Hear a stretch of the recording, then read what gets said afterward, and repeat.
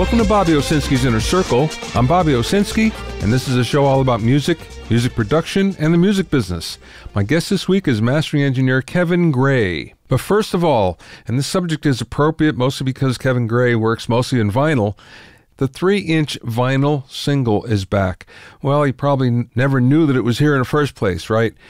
Jack White's Third Man Records, his record label, is releasing a number of three inch singles. Now, this is a recent phenomena, started in 2004 in Japan. When you think of three inch, you think of something that might have gone back to the 50s, but no, this is pretty recent.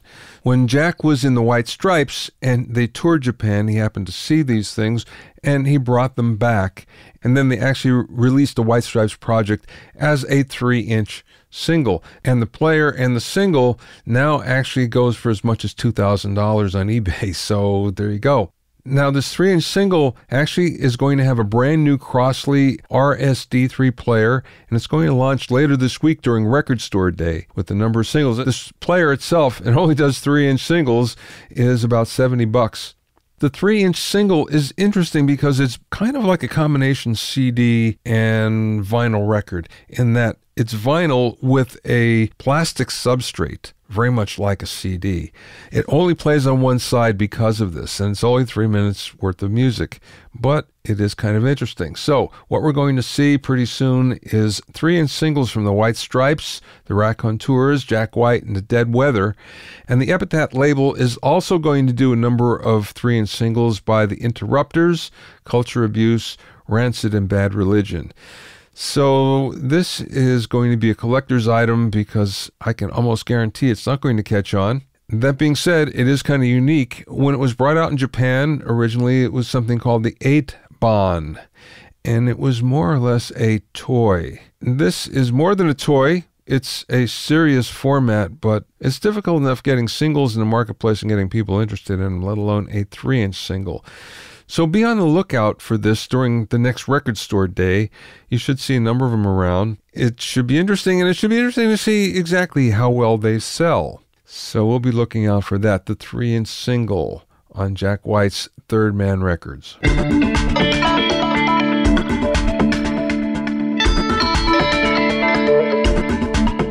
If you have any questions or comments, you can send them to questions at BobbyOInnerCircle.com. Don't forget about my online courses on mixing, production, branding, and music business success at BobbyOwsinskiCourses.com. Also, get an expert analysis and objective opinion of your songs and mixes as a member of my Hitmakers Club. Go to HitmakersClub.com to learn more. Now, here's something interesting, and it may be the future of music education. Concert violinists are being trained by artificial intelligence. The reason why is you can't just be good enough to be a concert violinist, you have to be the best of the best. So, researchers at Spain's Pompeu Fabra University have come up with an algorithm using machine learning that analyzes bow technique specifically for violinists who intend to be concert violinists. And this can recognize the accuracy up to 94% and give real time feedback. The interesting thing here, I think, is this may end up being the future of music ed. Now, can it take the place of a real music teacher? Perhaps. Perhaps it can be better in certain ways, especially when it comes to technique, in spotting problems with technique, in helping you perfect your technique. Now, when it comes to feel, when it comes to psychology, when it comes to things that are a little bit deeper than just playing, then I think an instructor is always going to be better. But this may have some future. It's not something that's going to be here tomorrow. This is only still a research project, but it's being used and apparently it's been somewhat successful at least. But look to this to be more used in the future in music education. I think this is going to be the way things are going to go. My guest today is mastering engineer Kevin Gray, who specializes in vinyl disc cutting. Kevin has mastered music for every major record label and every genre. His credits include more than 100 top 10 and Grammy Award winning records and dozens of gold and platinum albums and singles. In the interview, we talked about why he doesn't take super compressed projects, the custom design analog gear he uses, direct to disc recording, half speed mastering, and much more. I spoke with Kevin via phone from his studio in Los Angeles. The way I understand it, you started in mastering really early in your career, which is unusual. Well, yeah, I mean that was my first job in in audio. Um, yeah, I started in 1972. Yeah, back when vinyl ruled. yeah. Well, how did you get the gig? How did that happen? Well, um, a guy moved into our neighborhood when I was first starting high school, um, and he had a mastering facility in in Hollywood. His name is Bob MacLeod, spelt the Scottish way, M-A-C-L-E-O-D, and he uh, was the owner of Artisan Sound Recorders in Hollywood. And um, I was totally, you know, interested in audio and electronics and had built my own component stereo and all this good stuff. And I walked into his living room, and he's got you know big Altec voice of the theaters in the in the walnut enclosures, and you know nice turntable and amp and stuff. And so, you know, I, I, I said, "Gee, what do you do?" And he said, "Oh, I do mastering." And so, make a long story short, he took me down and uh, to the facility to see it a few weeks later. And um, this is, you know, uh, early in 1969. I was I was uh, still in my first year of high school. And uh, so the minute I walked in the door, I was impressed with all the cool equipment. And, you know, I threaded up a tape and stuck a lacquer on and started cutting. And I said, man, this is what I want to do for a living. It was just a halcyon moment, you know? Yeah.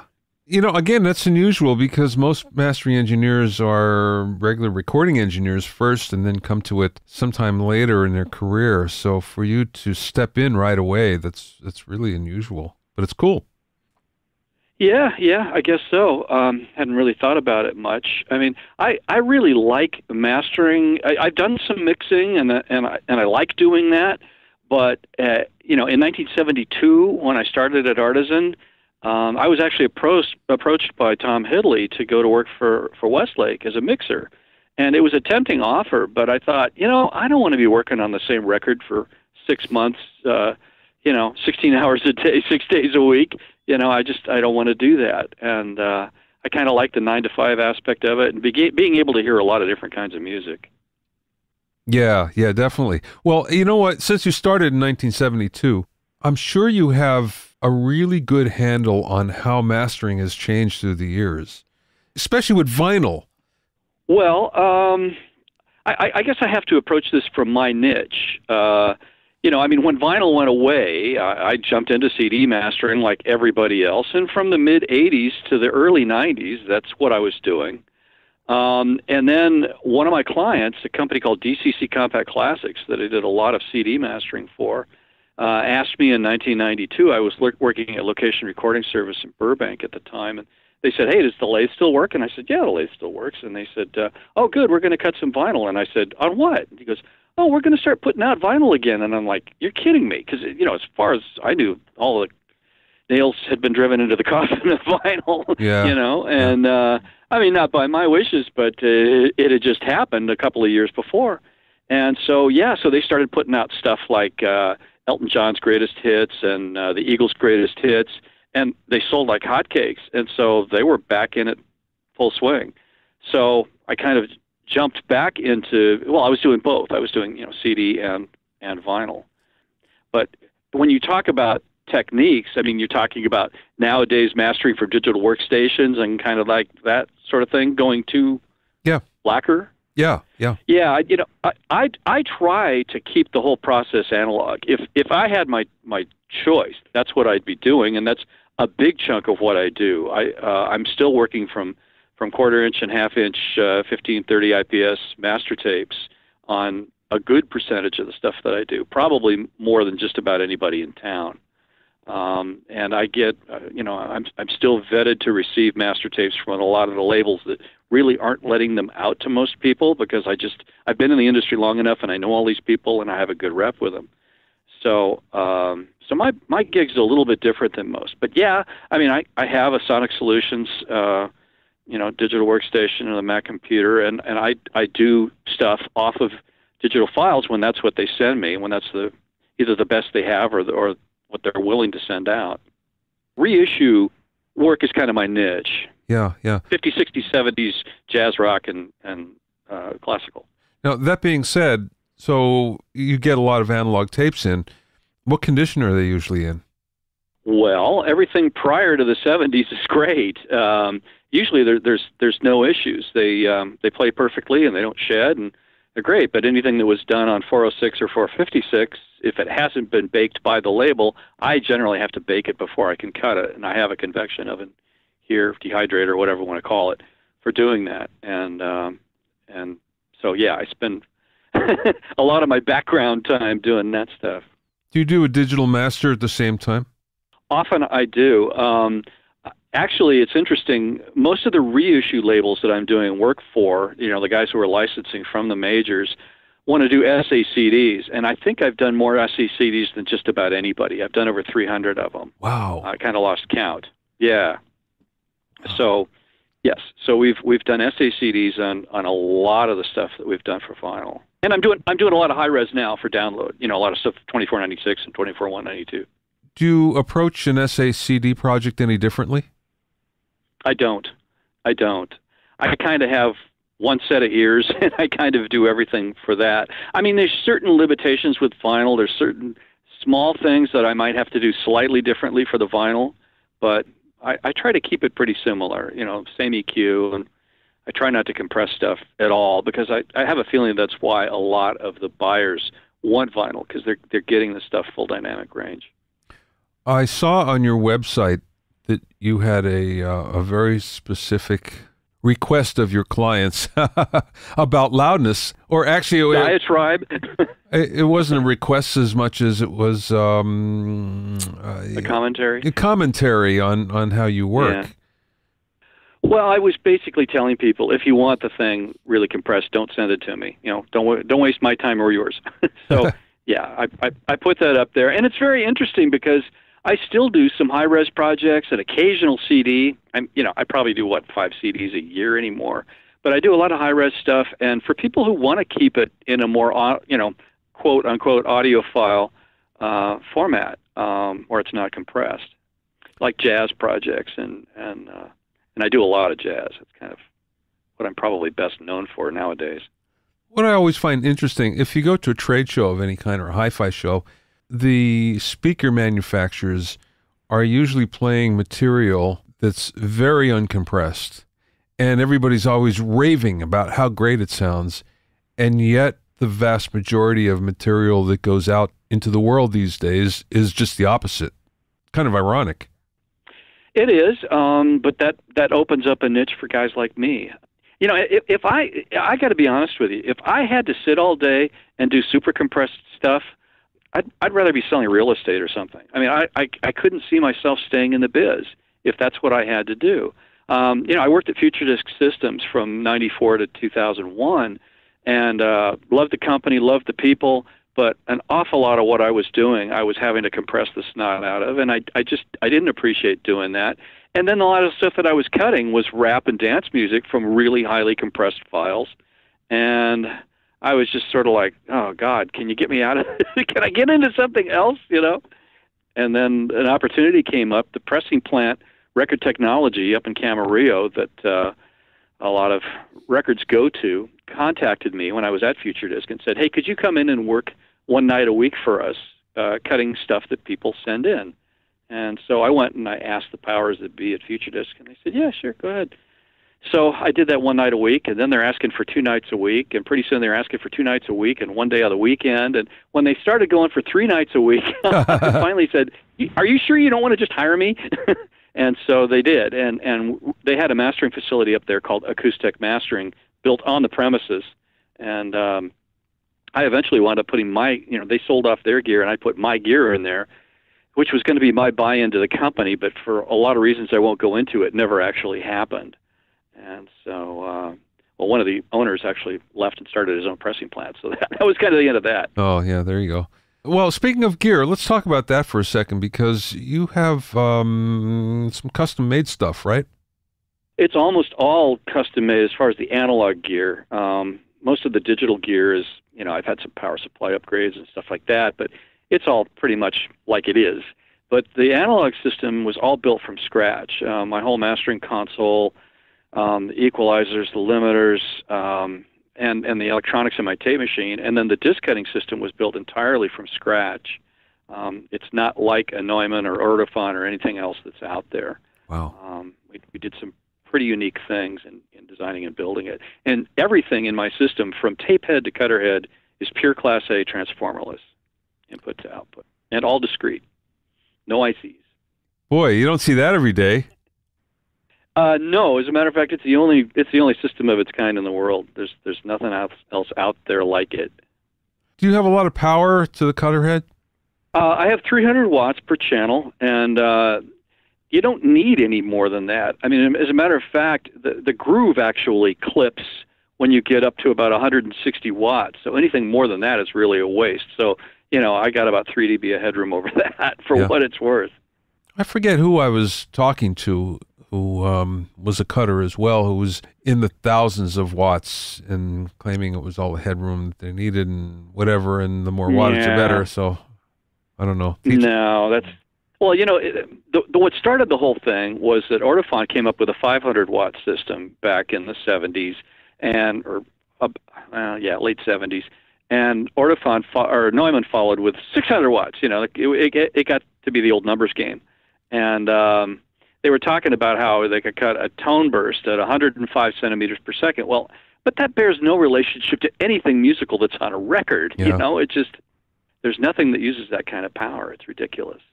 You've done a lot of direct to disc, haven't you? I've probably done as many or more than anybody. I've done over 30 of them. Yeah. You know, to me, doing direct to disc is very much like doing jingles. And I say that because basically, no matter what, you know, if the gear is broken, doesn't matter. You have to go ahead and nobody knows it. And you got an hour to cut your tracks and an hour for vocals and an hour to mix, and then it's out the door. So everything is very time compressed. Right. When it's a direct to disc project, it's very similar in nature. I mean, it's not identical Yeah, it's to that, live. but What, yeah, it's live. what yeah. happens, happens. Yeah. yeah. I, and I, you know, it's a high pressure thing, but I kind of enjoy it. It's, it's an adrenaline rush. It's a lot of fun. It's, it's, well, it's a lot of work and it's a lot of fun. It's a, it's a real, uh, sense of accomplishment when you're done. When you've got a complete side, everything went okay, you know, musically, and you got it on the record.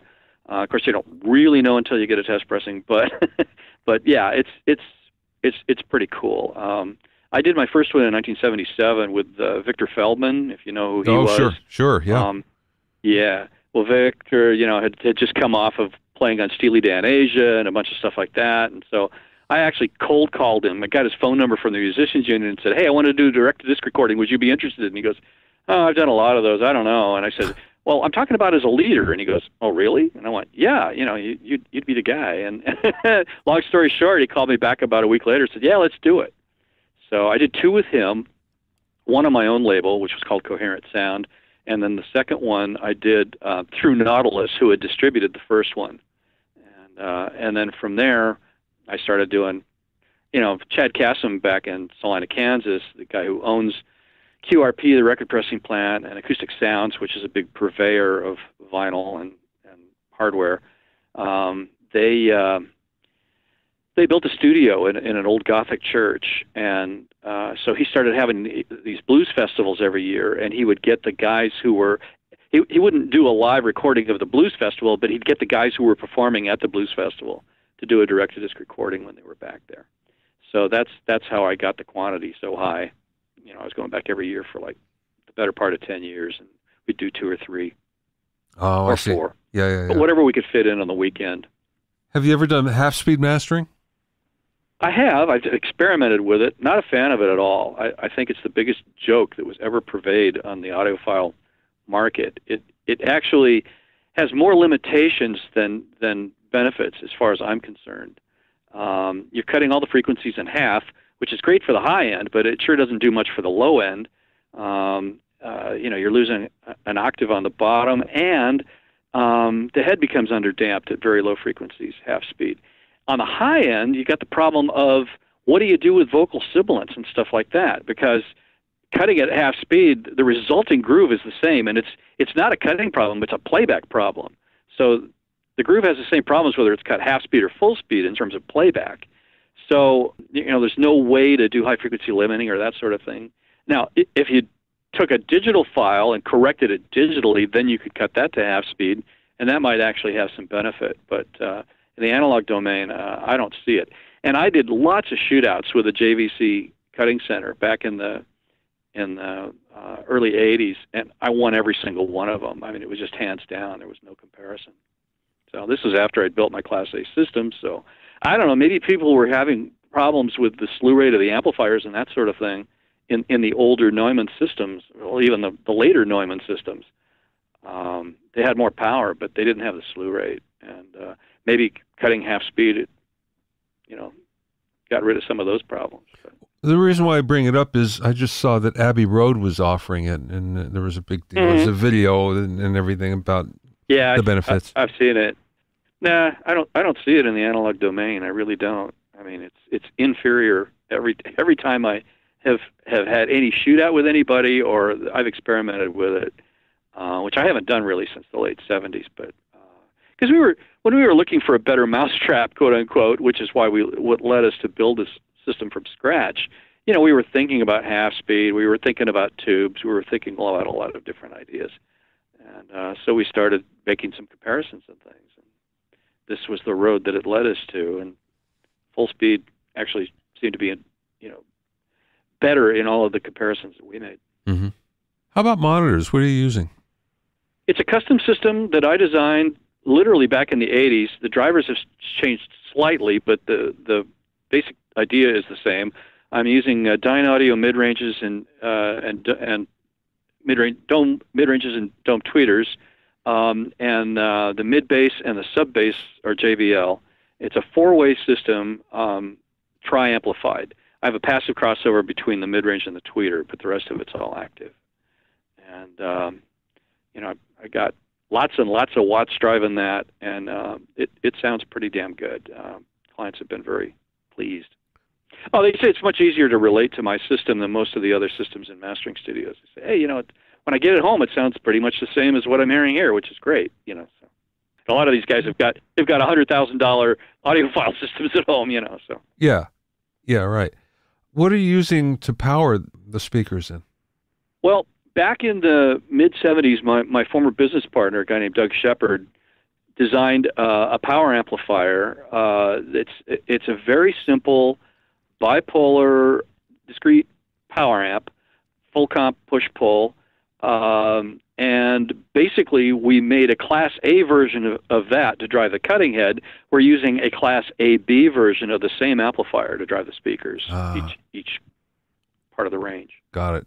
And how about cable? Are you using anything special? Well, I do because. uh, say, how do I say this discreetly? Well, AudioQuest basically provided me with cable in exchange for advertising for it.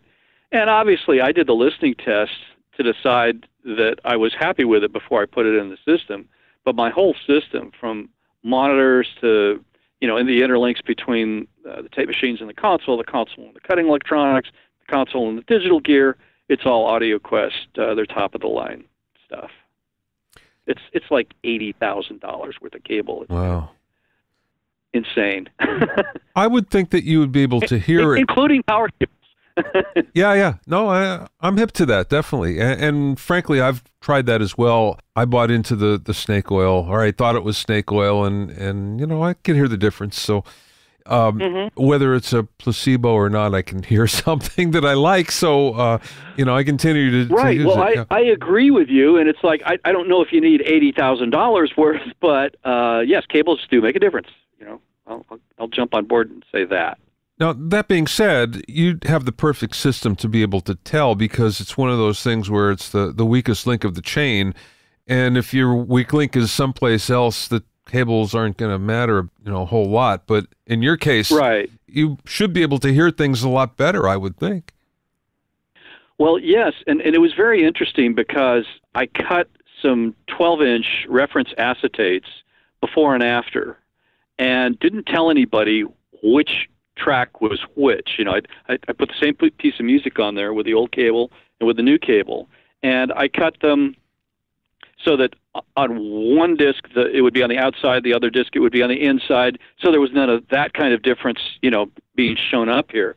So I, I cut like six of these acetates, and I sent them out as a set to uh, most of my high-end clients, and I was shocked. Every single person nailed it right. That's the old cable. That's the new cable. That's the old cable. That's the new cable. That's the old cable. That's the new cable. And you know, because I, I made a record of which was which. I just called them X and Y on each disc, but nobody but me knew which was X and which was Y. That blew me away. You know, I mean, I heard the difference and I thought it was subtle. These guys were claiming, "Oh no, it's not subtle at all." It's like, oh, okay. wow. Okay, well that tells you something right there. Go getting around that. It was a hundred percent. There was no, there was no, you know, 90, 70, 80, you know, when, when the numbers get down around 50%, it's guesswork, right? Yeah, yeah, sure. But I mean, it was 100%. Everybody got them right. And I was shocked. Kevin, with the newfound infatuation with vinyl and the numbers still growing, where do you see it all going? Uh, I wish I had a crystal ball. you know, we have so many new plants coming online. Sony's building a new plant in Tokyo. Um, there's now companies making record presses again. There's nobody making a lathe currently, but there's a lot of them out there.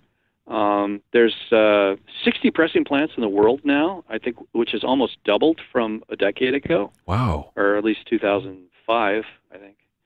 So it's a little over a decade. But um, I, it seems like it's growing. It seems like it's going to continue to grow. But but the problem is we do need the additional capacity because right now uh, it's getting bogged down. And I kind of predicted that when the major labels all jumped back in, it was going to muddy up the water, and it has, unquestionably, because they're going for much bigger quantities and you know more and more stuff. And by doing that, it, it really bogs down the pressing plants. Um, I think the biggest problem is it, it is not at, at mastering or plating; it's it's at the uh, the actual pressing end. Is it hard to get good vinyl?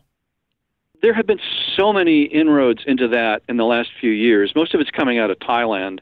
Um, the main company over there, TPC, just does wonderful, wonderful work. Um, and they experiment with two or three of the pressers, trying to come up with new formulations and things to get it even quieter, harder, you know, better, you know, something that will last and and and sound great. And I think they've been doing a magnificent job. It's it's been uh, it's been something to watch. See, that's about the last place I would have expected vinyl to be coming from. Well, you got to remember it's got to be outside of the country because of all kinds of you know issues with polyvinyl chloride. You know, sure. sure. so the company I think was originally well, two of the principals I think actually came out of Keysor, which was the largest manufacturer. K, it's K E Y S O R, but they were the largest manufacturer of vinyl in the U.S. And so I think basically they took what they knew and went to a country that was a little more friendly about the whole thing, and they, you know, put their input into it. It wasn't like a bunch of little Thai guys coming up with this stuff. It's it's uh, some old school people who really know what they're doing. Yeah, in an OSHA friendly country. yeah. Or non OSHA, right. basically. Yeah, right, right. Yeah, I don't know how to, quite how to look at that. Yeah. I was just in Malaysia I was in Kuala Lumpur and, and Penang. In Penang, it was interesting because going from the port where I was to Kuala Lumpur, you passed all these factories that had this very acid like industrial smoke coming out of them, and they were unmarked factories. Yikes. Uh huh. And I thought to myself, there's something very funny going on here, but you know, no one seems to, to worry about it. So I get home and I look in the Times, and there's an article all about the fact that China is no longer taking our recyclables. They basically have enough of their own, so they don't take our recyclables. And in fact, they're going to Malaysia instead. And what I passed was a number of illegal recycling houses. The only way they can get rid of it was to burn it. And in fact, that's what everybody was smelling. And I can only imagine what the health hazard must be. Oh my gosh, yes. The, the reason why I bring it up is the fact that, yeah, when you're working with vinyl, I mean, it's PVC, so it's much the same thing, although not in the same dimension, I guess, as you would have that, and you know when it comes to recyclables, but that's nasty stuff. Yeah. And especially the chemicals when you're making parts, that that's nasty stuff too. Yep. Well, it's caused most of the platers to move out of California too. I think the only companies that are doing record plating, you know, to to turn the lacquers into the metal parts that they stamp from, uh, are, are, are companies that were grandfathered into it that already pre-existed in California because um, California is very unfriendly to heavy metals. You know, I didn't realize there's any left. I thought they all had gone. most of them have. Uh, all the aerospace type companies left, like in the 80s or 90s. Yeah. You mentioned about there are new pressers coming online, and I've seen press releases for these. They must be better. They would have to be, you would think. You're talking about the companies or the or the the, the record press? The record itself? press. The record press. Oh, yeah. Um, I think the only company is in. Jeez, I'm trying to remember. It's somewhere in Eastern Europe, I think.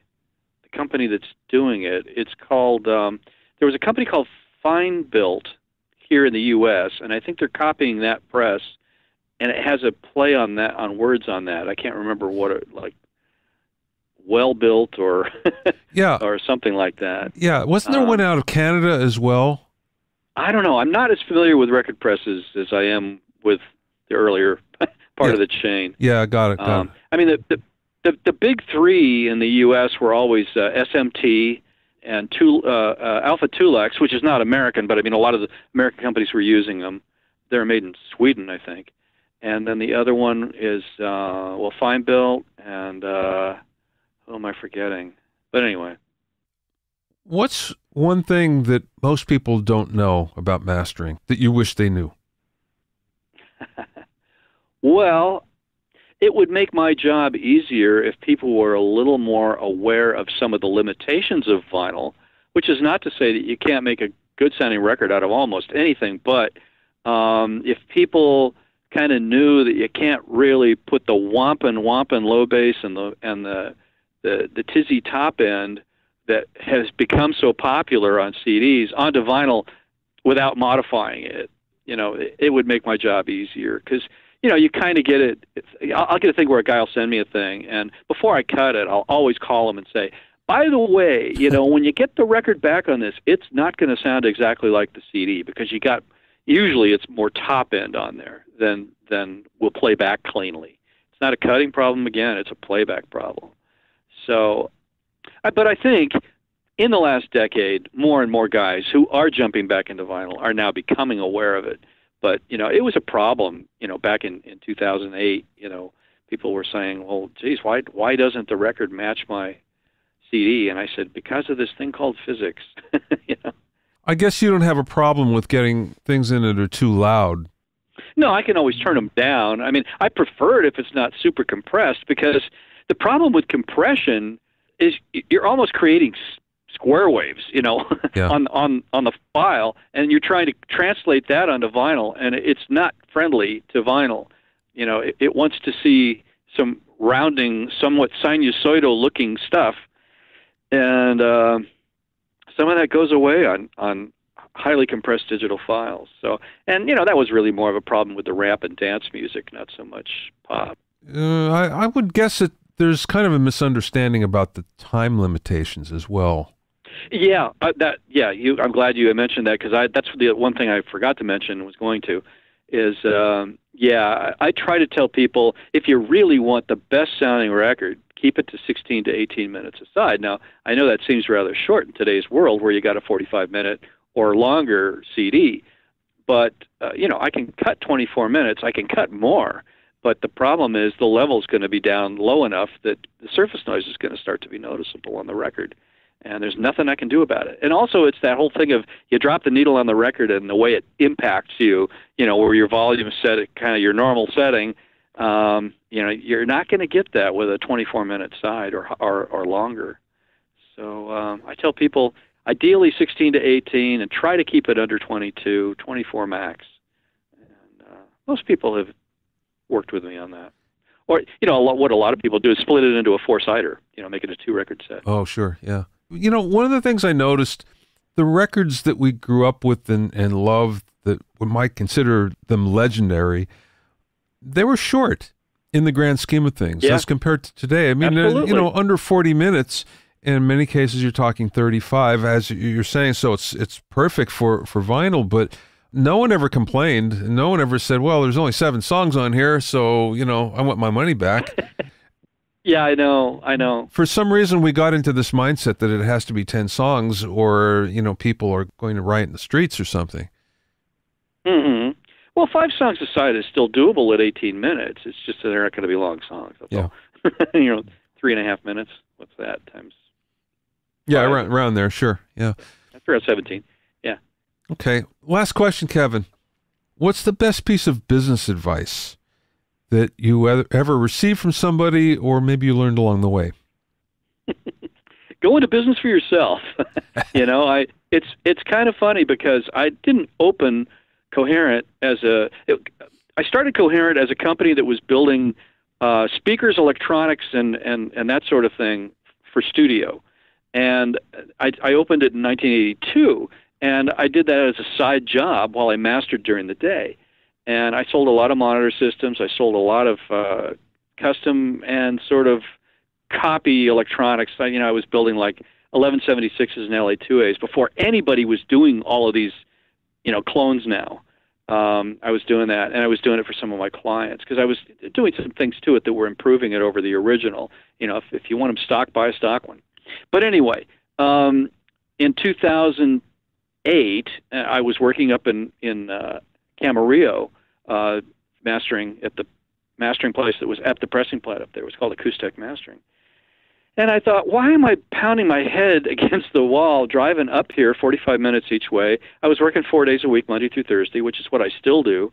And um, but I thought, you know, it's a lot of time on the road and whatever. And you know, why don't I start my own facility? Because people had been telling me this for like a decade. You know, why don't you know? Why don't you just start your own place? So I did, and it's the best thing I ever did. I mean, I kind of at this point, looking back, I kind of wish I'd done it earlier, but uh, I guess there's a time and place for everything. Yeah. Reasons why things happen the way they do.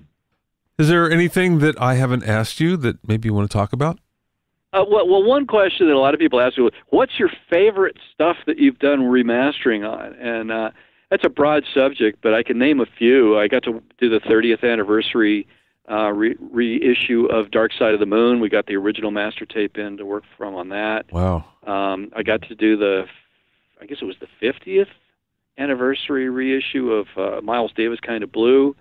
Um, you know, so there's there's been some really fun stuff. Um, when when Warner first got back into vinyl in 2005, I was doing all of their stuff, and um, they uh, we were doing stuff like Fleetwood Mac and James Taylor and Van Morrison, and you know it was Joni Mitchell, and, and you know that was that was very fun.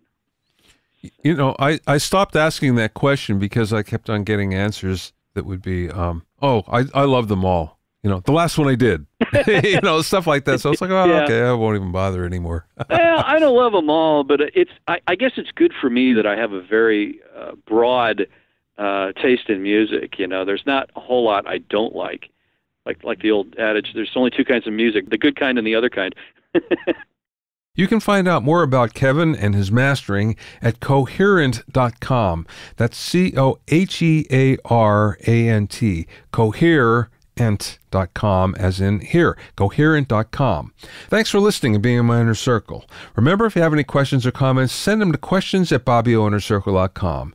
To listen to the episodes of Bobby Owsinski's Inner Circle, go to bobbyowsinski.com and select the podcast tab, or go to bobbyoinnercircle.com or find it on iTunes, Stitcher, Mixcloud, Google Play, Google Podcasts, Spotify, Deezer, and now Radio Public. At bobbyowsinski.com and bobbyoinnercircle.com, you'll also find a sign-up form for my newsletter and for alerts to new podcasts. This is Bobby Owsinski. I will see you next time.